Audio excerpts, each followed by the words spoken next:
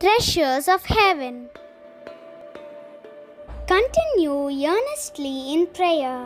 Be vigilant in it with thanksgiving. Colossians 4 2. Why should we thank Him? Oh, give thanks to the Lord, for He is good, for His mercy endures forever.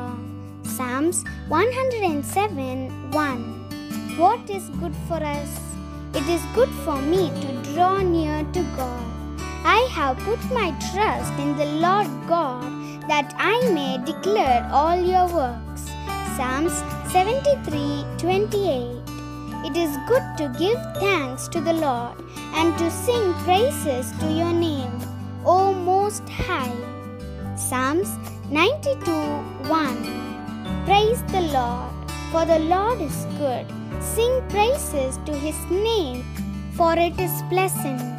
Psalms 135 3.